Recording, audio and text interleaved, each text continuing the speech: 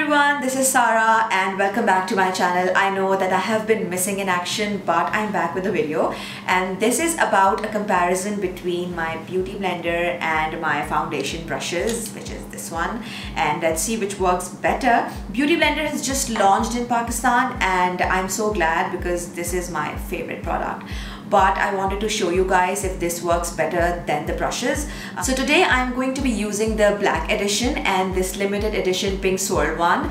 Uh, I got these colors. I love the nude as well and the pink one too but I don't think there's a difference between the, the colors and their quality. So let's get started and let's see which works better. So as you can see guys that I'm done with my eyes and my skin is all prepped. I used the Body Shop uh, Oil of Life for my moisturizing and my Smashbox primer which is not with me. It's inside and I'm, I'm not going to move and show you but I'll link all the products down below. So we'll start with the foundation application. I'll do the Beauty Blender on this side of my face and the brush on this side. So let's get started. Today I'm going to be using the Giorgio Armani Foundation Luminous Silk Foundation. I just love these but as you guys know that I was on holidays for like a month and on the beach so I'm comparatively tan though my shade is number 5 but today I'm going to be mixing uh, shade number 6.5 and 5 together. So let's do it. This face beauty blender right? Yeah. So I'm going to be mixing my foundation and I am used to of applying it with my hand like with my finger. So I'm going to be doing. My forehead is like really really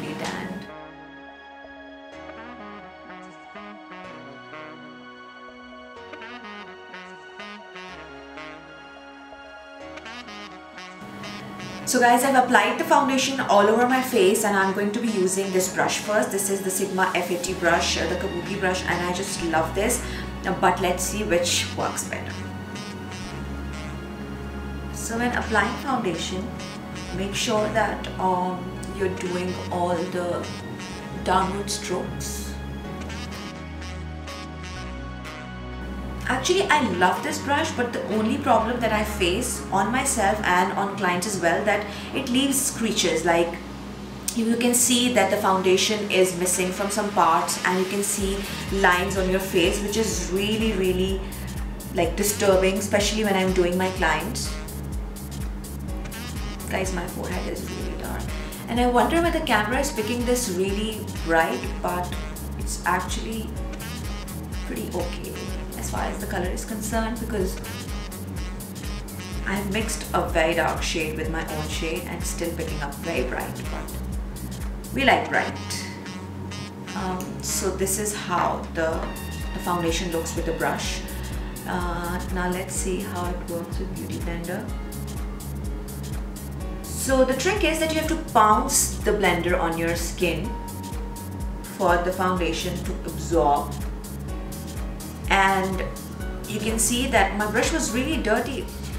But you can see like my brush was not clean but still when I wash the brush a lot of product actually comes out. It means that it, it absorbs a lot of product but the beauty blender does not uh, as compared to the brushes. And if you ask me I'm so used to of applying the foundation with my blender that even if I don't find a blender and I do it with my brush, I always go and uh, you know pat it with my blender just to make sure that it's blended and it's absorbed in my skin like really properly. I am so not used to of these videos anymore so it's gonna take me some time to look in the camera and do my you know what I mean, the struggle.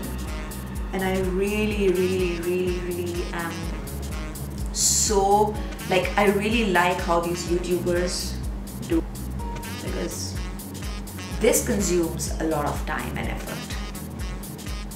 So guys, if you missed it, you must have noticed that unintentionally and mistakenly I went on the other half of my face as well, which I did with the brush because I'm so used to of this but this definitely definitely hands down works better than the brush while you apply the foundation because as I said it absorbs less product and uh, the application is flawless so one point for this baby versus the brush. So guys, now it's time to apply the concealer. I am using the Tarte Shape Tape Concealer in the shade Light Medium for myself. Uh, because I like my under eyes to be really highlighted but uh, you can use medium or the darker shades if you have more dark circles. So uh, yeah we will apply uh, the concealer on this side of the face and blend it with a beauty blender. Because this side we're doing with blender. And we're gonna blend this side with the brush just to show you that what works better um, a lot of people have different preferences when it comes to the seen so many people applying foundation with their fingers with hands which is like really impressive but I can't do it. So the concealer brush that I really like and I wanted to compare the best brushes with the beauty blender. So the concealer brush which I really like is the Sephora one. It's the brush number 57 I'll link all the products down below if you're interested in my description box and I'm gonna be using the black edition of the beauty blender on my right side of the face and the left side will be done with Sephora brush. I'm doing the beauty blender first because last time I uh, went over on this side of the face with the blender so this time I don't want to do that and we'll use the beauty blender first so that I don't pick up the beauty blender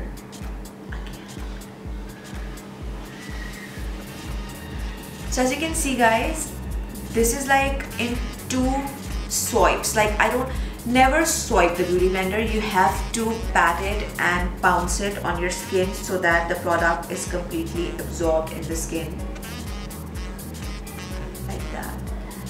So it literally took me like how much? Uh, 30 seconds to blend this, this concealer in. Now we'll use the brush.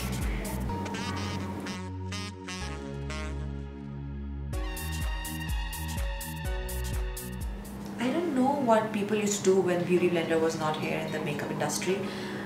I cannot imagine myself using my fingers or brushes especially I can do foundation with a brush but not concealer. I don't think I can ever achieve the flawless look that a beauty blender gives with a brush. But I really like this concealer brush. If you want to try and you're not comfortable with a blender or sponge, you can definitely give it a look into this one. So that's the side that I did with a brush. And if you notice that you can still see that the product is sitting right up there. And you can see my bags as well. I don't know why but they're visible in the camera. Anyways guys to save some time I'm gonna bounce my blender on my forehead and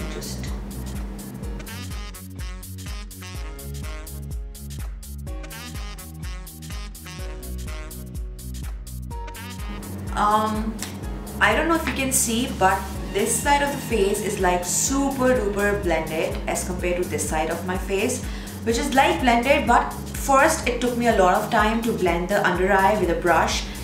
And second I will anyways pick up my blender and will go on my brush application to make sure that it's all blended. So I'm gonna save my time and use the beauty blender in the first place so guys next step is translucent powder we'll apply it on my under eye area I just apply translucent powder on my uh, under eyes and I just applied translucent powder on my under eyes and today I'm going to be using the Laura Mercier translucent powder, my holy grail, my favorite one.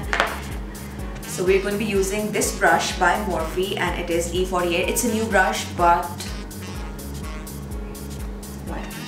and on this side of the face I'm going to be using the same blender with which we applied the concealer we're going to be using the powder so we're going to be using the blender on this side of the face and apply the translucent powder and the other side we're going to be using the brush. I don't set my forehead because my forehead is not really oily but you can like just do it. I like my face because it's winters and it's really dry in our city. Like Karachi is not cold but it's super dry. So we can't really you know uh, use a lot of powder on our skin. But to wipe it off I always use a brush. Uh, so I would suggest um, use a brush on your under eye. I like it better than the Beauty Blender because the beauty blender becomes hard when we use powder with it and the next time you use it it's really you know dry and hard so I don't use my beauty blender. I just wanted to show you that if you can apply the powder with this one you can for sure but if this is this works better then it works better for me. So um, yeah brush for translucent powder like under eye translucent powder. Next step is uh, contouring let's contour this chubby face. So are we gonna put the contours on the side of my face first? And I don't cream contour my nose because not on the camera because it's really difficult. So the brush I'll be using for my contours is MAC 130 this one on this side of the face to blend the contours. Let's just do it. Again just bounce. And uh, the motion should be like upward so your product is blended. But I I think I brought it a little little near the nail. And this side I'm gonna be doing with a brush. Ignore the duck face that I'm making but it's very important for your contours to the motions you can blend your contour in circular motions and I went a little overboard with this cream contour.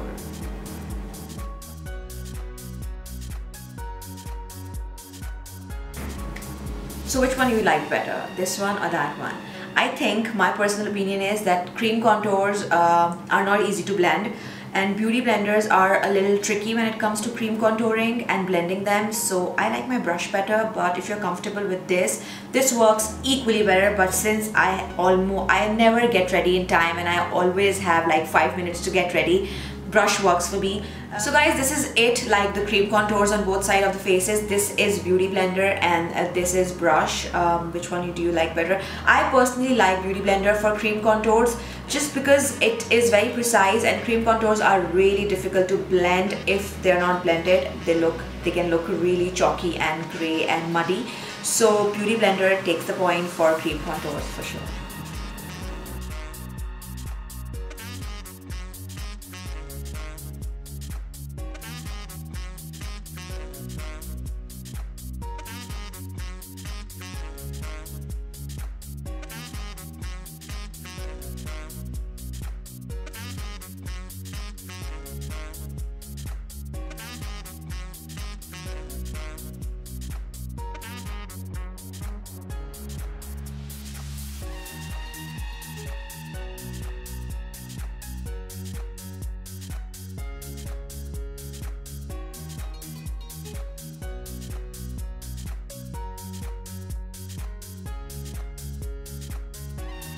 So this is it guys, my glam is done for today though I don't have to go anywhere but I was here to tell you if the beauty blenders work better than the brushes and they definitely do.